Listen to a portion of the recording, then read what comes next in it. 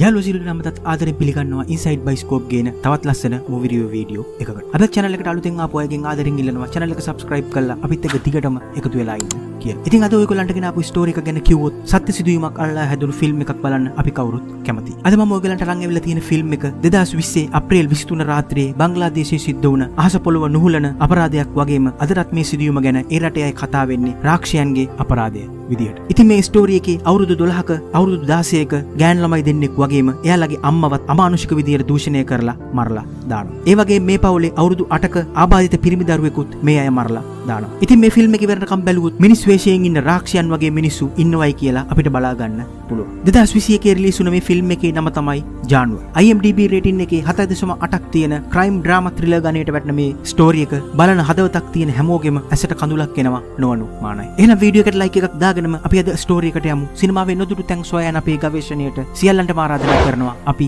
Inside bioscope. ඔන්න මේ කතාව පටන් ගන්නවත් එක්කම අපිට පෙන්වන්නේ පොලිස් පරීක්ෂක බිලාල්ව. මෙයාට ඊයේ පාන්දර සිද්ධ වුණ අපරාධයක් ගැන පරීක්ෂණ කරන්න මේ අපරාධය සිද්ධ වුණ ස්ථානයට එනවා. මෙතනදී ඇතුළට යන්න කලින් මෙයා මෙයාගේ ගෝලයට කියනවා පහුගිය කාලේ මේ ගෙදරට ආව ගිය අය වගේම කෝල් කරපු අය ගැනත් වාර්තාවක් ඉක්මනට යාට දෙන්න.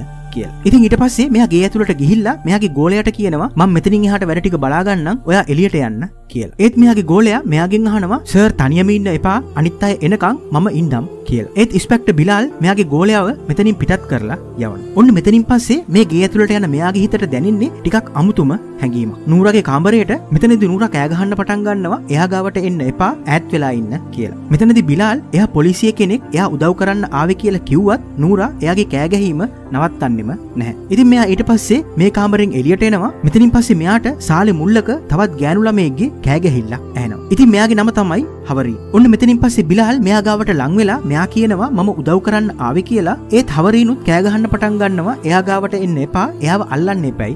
කියලා. ඔන්න මෙතනින් පස්සේ මෙයාට ඊට එහා පැත්තේ තියෙන කාමරයක තවත් ගෑනු කෙනෙක් අඬන සද්දයක් ඇහෙනවා. ඉතින් මෙයා කරන්නේ මේ කාමරේ දොර අරගෙන ඇතුළට යනවා. ඉතින් මේ කාමරේ ඉන්න ගෑනු කෙනා මෙයාට කියනවා එයාට සමා වෙන්න එයා ගාවට එන්න එපා. එයාට කරදර කරන්න එපයි කියලා. ඉතින් බිලාල් මෙයාට කොච්චර පැහැදිලි කරන්න හැදුවත් එයා පොලිස් නිලධාරියෙක් කියලා මේ ගෑනු කෙනාගේ කෑ ගැහිල්ල අඩු වෙන්නේ නැහැ. ඉතින් මෙයා කාමරෙන් එළියට එනවා. ඔන්න ඊට පස්සේ මෙයා ආයෙත් හවරින් ගාවට ගිහිල්ලා මෙයා කියනවා එයා පොලිස් නිලධාරියෙක් එයාවේ ඔයාලට උදව් කරන්න උනේ මොකද්ද කියලා බය නැතුව එයාට කියන්න කියලා. ඉතින් මෙතනින් පස්සේ හවරින් මෙයාට එයාගේ කතාව කියන්න පටන් ගන්නවා. අද දවස 2020 අප්‍රේල් 22. අද තමයි මගේ 12 වෙනි උපන්දිනය. ඉතින් මම මගේ 12 වෙනි උපන්දිනය ගොඩාක් ජයට සමරන්න හීනමවාගෙන හිටියේ. ඉතින් මම උදේ නැගිට්ටට පස්සේ මගේ උපන්දිනයට විශ් කරන්න කවුරුත් ආවේ නැහැ. ඊට පස්සේ මම අම්මා ගාවට ගිහිල්ලා අම්මත් එක්ක රණ්ඩු වුණා මගේ උපන්දිනයට කිසිම සැරසිල්ලක් නැහැ. එයා ගැන කවුරුත් හිතන්නේ නැහැයි කියලා. කේක් එක කපන්නේ රෑ 12ට නිසා හවස් වෙලා ගෙදර සරසනවයි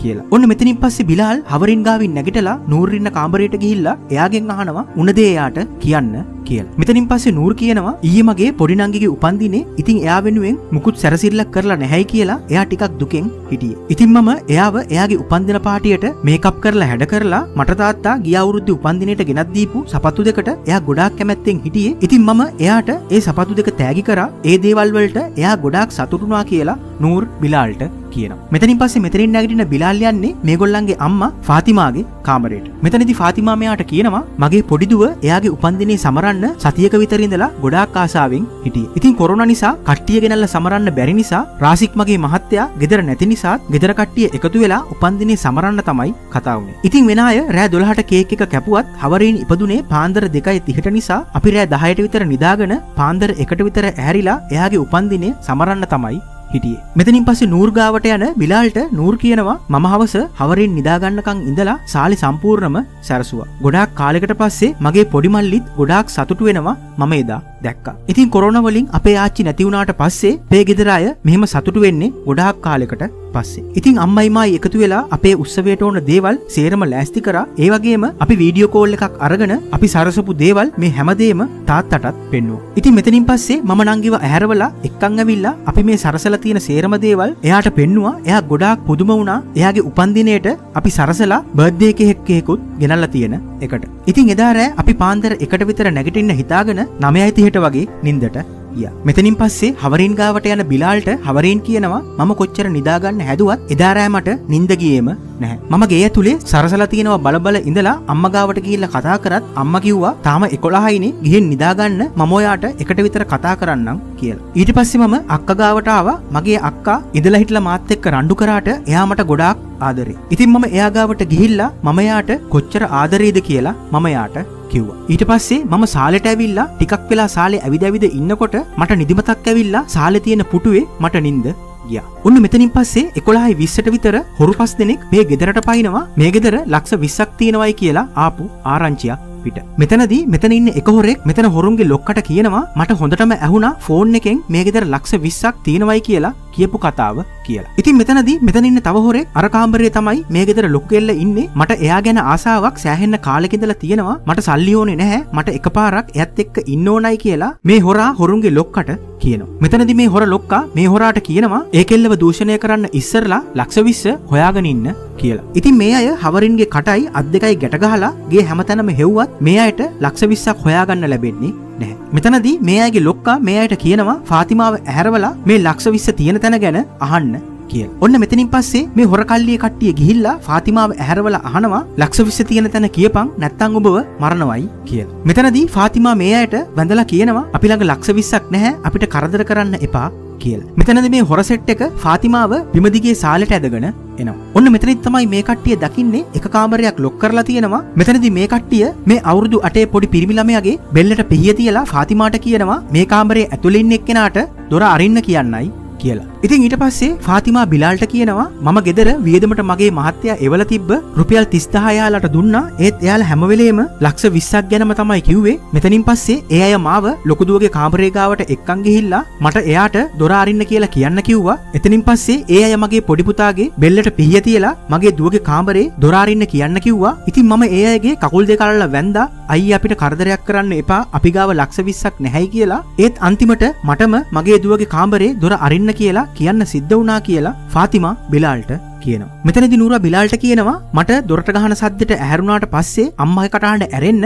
මට තවත් එක එක සද්ද ඇහෙන්න පටන් ගත්තා. මම අම්මගෙන් ඇහුවා ඒ ඇහෙන සද්ද මොනවද කියලා. ඒත් අම්මා මට කිව්වා දෙවියන්ගේ නාමයෙන් මාව විශ්වාස කරන්න ඔයා දොර ඇරගෙන එළියට එන්න කියලා. ඒත් මම දොර ඇරියේ නැහැ. ඒත් අම්මා සැරින් සැරේ කිව්වා දොර අරින්න මාව විශ්වාස කරන්න කියලා. ඉතින් ඒක නිසා මම දොර ඇරියා. ඉතින් ඒත් එක්කම මිනිස්සු වගේක් ඇවිල්ලා මාව අල්ලගත්තයි කියලා නූරා බිලාල්ට කියන. ඔන්න ඊට පස්සේ දොර ඇරගෙන නූරගේ කාමරයට යන මේ කට්ටිය නූරගේ කාමරෙත් මේ ලක්ෂ 20 හොයන්න පටන් ගන්නවා. ඒත් මේ අයට කාමරයේ තිබිලා කිසිම දෙයක් ලැබෙන්නේ නැහැ. ඔන්න මෙතනින් පස්සේ ෆාතිමාව සාලෙ මැද්දට ඇදගෙන එන මේ හොර ලොක්කා මෙයාට කියනවා මේ අන්තිම පාරට අහන්නේ ලක්ෂ 20 කොහෙද තියෙන්නේ? හංගල තියෙන තැන කියපන් කියලා. මෙතනදි ෆාතිමා මෙයාලට වැදලා කියනවා අපි ගාව ලක්ෂ 20ක් නැහැ මගේ දරුවන්ට කරදරයක් කරන්න එපැයි කියලා. ඔන්න මෙතනදී නූරව අල්ලගෙන ඉන්න මිනිහගේ මූණේ බැඳලා තියෙන ලේන්සුවෙන් අදින නූරා මේ ලේන්සුව ගැලවිලා මේ මිනිහගේ මූණ එළියට එනවා. මෙතනදී නූරා මේ මිනිහව අඳුරගන්නවා මේ මිනිහගේ නම පර්වේස් කියලා. ඉතින් මේ මිනිහා කලින් මේ ගෙදර වැඩ කරලා හොරකමකට මාට්ටු වෙලා පොලිසියට අහු වුණාම ෆාතිමා තමයි මේ මිනිහව ඇපදීලා බේරගෙන තියෙන. ඔන්න මෙතනදී ෆාතිමා මේ මිනිහට ගහන්න පටන් ගන්නවා උඹට කරපු දේවල් වලට මෙහෙමද මට සලකන්නේ මම නේද උඹව පොලිසියෙන් බේරගත්තේ ආයෙත් උඹ තවත් කට්ටියක් අරගෙන ආවද කියලා ෆාතිමා මෙයාට ගහන්න පටන් ගන්නවා. ඔන්න මේත් එක්කම පර්වේස් මෙතන ඉන්න හොර ලොක්කට තාත්තේ කියලා කතා කරන. ඔන්න ඊට පස්සේ බිලාල් හවරින්ගෙන් අහනවා එතන හිටපු අයව ඔයා අඳුරනවද කියලා. මෙතනදී හවරින් බිලාල්ට කියනවා ඔව් එක්කෙනෙක් අපේ ගෙවල් ගාව කරත්ත පදින කෙනෙක් එයා තමයි මගේ අක්කව ඉස්කෝලේ එක්කන් ගිහිල්ලා ආයි එක්කන් එන්නේ ඒත් එක්කම එතන කලින් අපේ ගෙදර වැඩ කරපු කෙනෙකුත් හිටියා ඒ වගේම අපි කිරි එලවලු ගන්න අයත් එතන හිටියයි කියලා හවරින් බිලාල්ට කියනවා. මෙතනින් පස්සේ ෆාතිමා ගාවට යන බිලාල්ට ෆාතිමා කියනවා මම ඒ අයට මගේ මංගල මාල මංගල මුදුහෙම ගෙනත් දීලා මම වැඳලා එයාට කිව්වා ඔයාගේ පුතාව පොලිසියට අල්ලලා දුන්නට මට සමා වෙන්න මම ඔයාගෙන් වැඳලා ඉල්ලනවා දෙවියන්ගේ නාමයෙන් මගේ ළමයින්ට කරදරයක් කරන්න එපයි කියලා මම කිව්වයි කියලා. ඉතින් ඊට පස්සේ මේ හොර සෙට් එක මුළු ගේම ඇවිස්සුවත් ෆාතිමා මේ අයට දුන්න සල්ලි රත්තරන් බඩුයි ඇරෙන්න තව සතයක්වත් මේ අයට හොයාගන්න ලැබෙන්නේ නැහැ. මෙතනදි මේ හොරලොක්කා මේ කරත්තකාරයාගෙන් අහනවා කෝ උඹ කිව්ව ලක්ෂ 20 කියලා. මෙතනදි මේ කරත්තකාරයා කියනවා මගේ කරත්තේ යනකොට තමයි මේ ගෑණි ලක්ෂ 20ක් ගැන කිව්වේ. මට හොඳටම ඇහුණා මේ ගෑණි මිනිහට ලක්ෂ 20ක් ගැන කියනවයි කියලා මේ කරත්තකාරයා මේ හොරලොක්කට කියන. ඉතින් මෙතනින් පස්සේ නූරගාවට යන්න බිලාල්ට නූර කියනවා ඒ අය හොයපු සල්ලි හම්බ වුණේ නැති නිසා ඒ අය අපිට තවත් වද දෙන්න පටන් ගත්තා. ඒ අය කිව්වා ඒ අයට බඩගිනි උයලා කන්න දෙන්න කියලා. එතනින් පස්සේ ඒ අය කිව්වා එයාලට රෝස් චිකනුයි බුරියානි උයන්න කියලා. ඒ වගේම ඒ අය කිව්වා අපිට රසට උයලා කන්න දුන්නොත් අපි කාලා ඉවර වෙලා ගෙදරින් යනවයි කිව්වයි කියලා නූරා බිලාල්ට. කියන ඔන්න මෙතනින් පස්සේ ෆාතිමා මේ අයට උයන්න පටන් ගන්නවා මෙතනදි ෆාතිමා මේ අයට කියනවා එයාට සමාවෙන්න මගේ දරුවන්ට කරදර කරන්න එපා කිව්වත් මේ අය කියන්නේ අපි කාටවත් කරදර කරන්නේ නැහැ අපි කාලා මෙහෙම පිටත් වෙලා යනවයි කියලා. ඔන්න මෙතනින් පස්සේ ෆාතිමා හදපු චිකන් බුරියානි එක කන මේ අයට කෑමෙන් පස්සේ විනෝද වෙන්න ඕමනා වෙනවා. ඉතින් මෙතන ඉන්න මේ හොර ලොක්කා ෆාතිමාට කියනවා කෑමනම් ගොඩාක් රහයි බඩනම් පිරුණා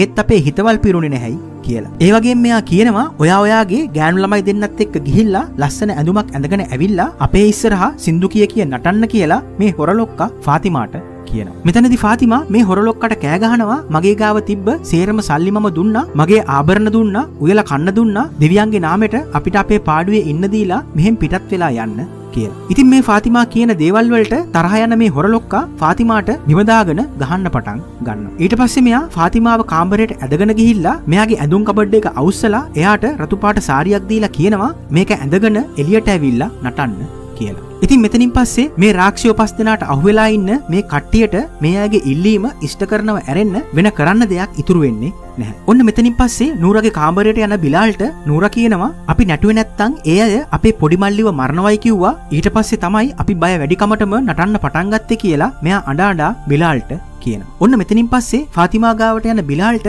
ෆාතිමා කියනවා අපි නටන අතරේ ඒ අය අපි ගාවට ඇවිල්ලා අපිත් එක්ක නටන්න පටන් ගත්තා. ඒ වගේම ඒ අය අපිට සෑහෙන්න වද දුන්නයි කියල. ඊට පස්සේ මගේ ගාවටාව මේ හොරුන්ගේ ලොක්කා මාව කාම්බරයට ඇදගෙන යන්න හදනකොට මම යාගේ කකුල් දෙකල්ල වැඳලා කිව්වා මට කරදර කරන්න එපයි කියලා ඒත් ඒ මිනිහා මාව කාම්බරයට ඇදගෙන ගියයි කියලා මෙයා බිලාල්ට කියන. ඔන්න මෙතනින් පස්සේ මේ තිරිසන්නු මාරුවෙන් මාරුවට ෆාතිමාවයි නූරවයි දූෂණය කරනවා. ඒ වගේම මෙතන ඉන්න එක තිරිසනෙක් මේ අවුරුදු 12 හවරින්වත් අතාරින්නේ නැහැ. මේ මිනිහා හවරින්වත් උස්සගෙන ගිහිල්ලා මෙයාවත් දූෂණය කරලා දානවා. ඒ වගේම බිලාල්ට මේ අය කෑ ගහන සද්දේ මුළු ගේ පුරාම දෝංකාර දෙනවා. ඉතින් ඊට පස්සේ මේ අයව දූෂණය කරන මේ හොරකට්ටියගේ නායකයා මේ අයට කියනවා දැන් අපි ගිය ගමන් මේ අය අපිව අඳුරගත්ත නිසා මේ අය පොලිසියට කෝල් කරලා සේරම කියනවා එතකොට දවල් වෙද්දී අපි සේරම පොලිසියට අහුවෙනවා ඒක නිසා මේ අයව මරලා දාලා මෙතනින් පැනලා යමුයි කියලා මෙයා අනිත් අයට කියනවා. ඉතින් මේ හොරලොක්ක කියන දේට මෙතන ඉන්න එක හොරෙක් නම් කැමති වෙන්නේ නැහැ. මෙයා කියනවා අපි ලක්ෂ 20ක් හොයාගෙන හොරකමේනේ ආවේ. ඒත් දැන් අපි මේ ගෑනුන්ව දූෂණය කරලා තවත් අපරාධයක් කරලා තියෙන්නේ. අපි මේ අයව මැරුගොත් එහෙම අපිව අනිවාර්යෙන් අහුවෙනවයි කියලා මෙයා මේ කට්ටියට කියන. මෙතනදී මේකගේ යටයකින් අල්ලගන්න මේ හොරුන්ගේ නායකයා මෙයාට කියනවා අච්චර ලොකු ගෑනු දෙන්නෙක් ඉඳලත් මමද කිව්වේ උඹට මේ පොඩි එකාව දූෂණය කරන්න කියලා වැඩිවියට පත් වෙලාවත් නැති මේ පොඩි කෙල්ලව දූෂණය කරේ අත්තරදීමකින්ද කියලා මෙයා මේ හොරාගෙන් අහනවා. ඒ වගේම මෙයා කියනවා අපි දැන් කරලා තියෙන වැරදිවලටත් අහුනොත් කොහොමත් අපිව එල්ලලා මරණවයි කියලා. ඊට පස්සේ මේ හොරනායකයා කියනවා තම තමන් දූෂණය කරපු අය තම තමන්ම මරන්න ඕනයි කියලා. ඔන්න ඉතින් මුලින්ම ෆාතිමාගේ කාමරයට යන මේ අය ෆාතිමාගේ බෙල්ල කපලා මරලා දානවා. මෙතනින් පස්සේ හවරින් ගාවට යන දූෂණය කරපු මිනිහා හවරින්ගෙත් බෙල්ල කපලා මරලා දාන. ඊට පස්සේ මේ අය යන්නේ නූරගේ කාමරයට මේ අය නූරගේ බෙල්ල වගේම පිහිපාරවල් 14ක් එක්ක නූරව මරලා දාන. මෙතනින් පස්සේ මේ හොරනායකයා කියනවා අර මන්දබුද්ධික ළමයාවත් මරලා දාන්න ඒකට කතා කරන්න බැරි වුණාට ඇස් දෙක හොඳට පේනවනේ ඒක අපිව අඳුරගත්තොත් අපිට බේරෙන්න බැරි වෙයි කියලා මේ හොරලොක්කා අනිත් අයට කියනවා. ඒත් අනිත් අය එකෙක්වත් කැමති වෙන්නේ නැහැ මේ මානසික ලෙඩක් තියෙන පොඩි එකාව මරන්න. ඊට පස්සේ මේ හොරලොක්කා කරන්නේ එයාම එයාගේ පිහි අරගෙන ගිහිල්ලා මේ පොඩි එකාව හිර කරලා තිබ්බ නානකාමරයට ගිහිල්ලා මේ පොඩි එකාගේ බෙල්ල කපලා මරලා දානවා. ඉතින් මේ සේරම දේවල් ඉවර වෙනකොට බහුවෙන් දවුදේ අටත් පහුවෙලා මෙතනින් පස්සේ මේ කට්ටිය ගෙදරින් පිට වෙලා යනවා. ඔන්න ඔය විදිහට බංගලාදේශයේ සිද්ධ වුණ ආසපොලොව නුහුලන අපරාධය සිද්ධ කරලා මේ හොරුරැල පිටත් වෙලා යනවා. ඉතින් මේ කතාවේ අවසානය ලස්සන උපන්දින පාටියකින් ඉවර වෙන්න තිබ්බත් අවසානයේ උනේ එකම පවුලේ හතර දෙනෙක්ගේ ජීවිතය නැති වෙලා. ඉතින් මේ කතාවේ අන්තිමට අපිට මේ සිද්ධියට ඇත්තටම මුහුණ දීපු අවුරුදු 8ක් වයස ෆේදල්ගේ පින්තූරේ අවුරුදු 40ක් වයස ෆාතිමාගේ පින්තූරේ අවුරුදු 16ක් වයස නූරගේ පින්තූරේ අවුරුදු 12ක් වයස හවරින්ගේ පින්තූරෙත් අපිට පෙන්න්නනවා. ඉතින් අපේ සමාජයේත් සැරින් සැරේ ඇහෙන්න ලැබෙන මේ වගේ තිරිසන්නු විසින් කරපු අපරාධ ඔයගොල්ලන්ට මතක ඇති. ඒ වගේම මේ ෆිල්ම් එකෙන් අපිට තව ආදර්ශයක් ගන්න තියෙනවා. අපි නාදුන අය එක්ක බස් එකක ත්‍රිවිල් එකක යනකොට අපේ පෞද්ගලිකත්වයට හානි වෙන කිසිම දෙයක් ෆෝන් එකෙන් තමන්ගේ ඔයගොල්ලන්ගේ යාළුවෙට්ටවත් කියන්න එපා. මොකද සමහර අය අද අපේ ගෙදර කවුරුත් නෑහලෝ මම තනියම තමයි ඉන්න කියන එක ඇහෙන මේ වගේ තවත් අපරාධකාරයෙක්ට ඒක අපරාධයකට ආරාධනාවක් වෙන්න පුළුවන්. ඒවගේම මේ අපරාධය කරන තිරිසන්නුන්ටත් වැඩි කාලයක් නිදහසේ ඉන්න ලැබෙන්නේ නැහැ. බංගලාදේශි පොලිසිය බොහොම කෙටිකාලෙකින් මේ තිරිසන්නු පස් දෙනාව අල්ලගන්නවා ඉතින් මේ අයට මරණය දණ්ඩනය තමයි හිමිවෙන්. ඉතින් ඔන්න ඔය විදිහට අද අපේ ස්ටෝරිය එක අවසන් වෙනවා. අද කතාව හොඳ නම් ස්ටෝරියකට ලයික එකක් දාලා කතාව ගැන ඔයගොල්ලන්ගේ අදහස් පහලින් කමෙන්ට් කරන්න අමතක කරන්න එපා. ඒවගේම මේ වගේ ලස්සන ෆිල්ම්ස් ඉස්සරහටත් බලන්න කැමතිනම් චැනල් එක සබස්ක්‍රයිබ් කරලා අපිත් එක දිගටම එකතු වෙන්න කියලා ආරාධනා කරන එහෙනම් අපි තවත් මේ වගේ ලස්සන ස්ටෝරියකින් හමුවමු අපි ඉන්සයිඩ් බයිස්කෝප් ඔයගොල්ලන්ට ජය.